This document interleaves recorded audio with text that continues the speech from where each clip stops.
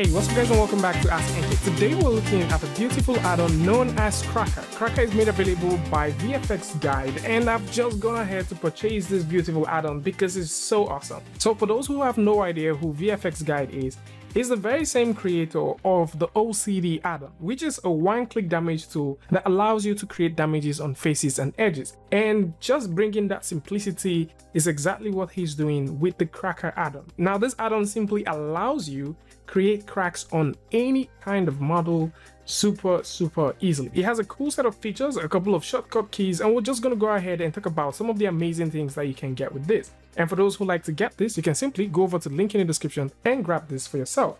And to get started with this, all you need to do is fire up Blender and with Blender simply opened right here, you can go over to Edit, go over to Preference and install the add-on.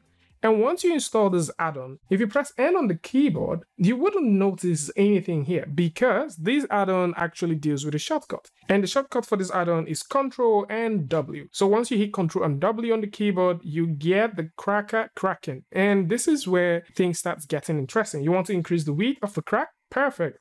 You would like to move the crack? Of course you can. So you can just simply tap G on the keyboard move this up and down. You would like to rotate it, super. You can rotate this however you want. And for those who like to throw in a bit of displacement, you can. So once you go in and you can throw in that displacement that you want, use the middle mouse button and roll in some more details or, you know, whatever you like to do.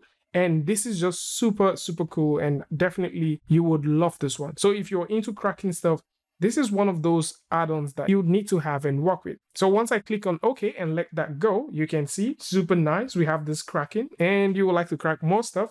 Of course you can. Control W one more time and you can position this however you want.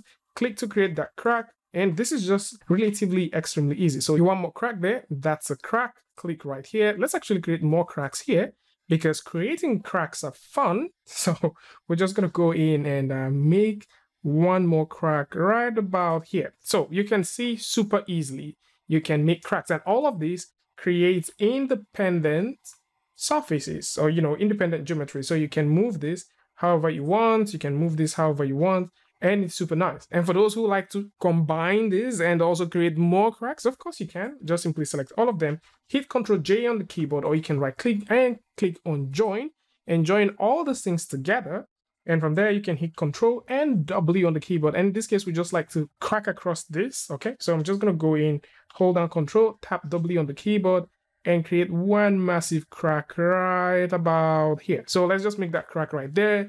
If you would like to remove some pieces or maybe you like to play with different things like, you know, increasing the width and stuff like that, of course you can. So we can have that there and click on OK. And you would now notice that this crack travels through. So it travels through the entire thing. You want to do more cracks, let's say across this part. Okay, Control J one more time, Control W, which is super easy. Tap G on the keyboard to move the crack wherever you want. Tap T to play with some thickness or some width, which is nice. So we can have that there and click on OK. And that is super, super easy.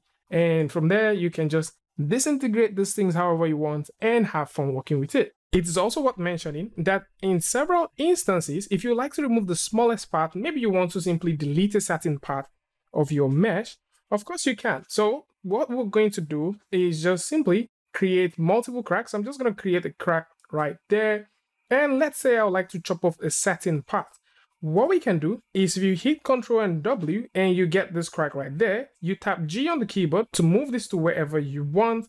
And if you hold down Ctrl on the keyboard and click, you can simply chop that off, which is really, really nice. So you can use this to cut off so many, many parts and you can just simply go to town with this one, tap G, move it to the smallest part, hold down control, click, and you can start creating that beautiful chop off on this crack with this crack.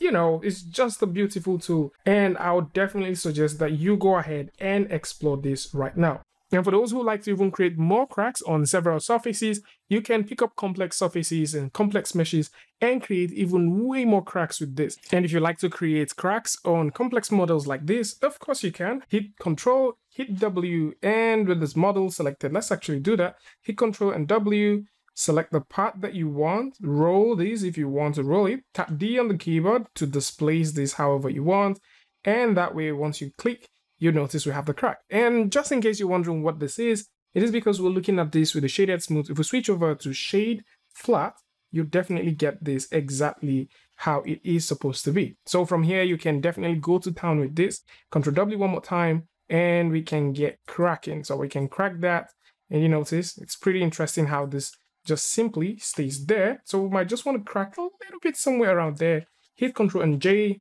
and we're going to crack. Okay, sorry, and we're going to crack this again. So I'm just going to crack somewhere like so, maybe just somewhere like this a little bit like that and that is it so this is more like it for those who like to get this amazing tool from vfx guide you can simply go over to the link in the description and grab this and start cracking tell me what you guys think about this one in the comment section this is one of those cool add-ons that simply helps you add that level of realism to your meshes and it is worth grabbing and checking out Tell me what you guys think about this one, and of course, if you like this video or you learned something from this, you can go ahead and give it a like and don't forget to share with a friend. And until I see you guys in the next one, peace.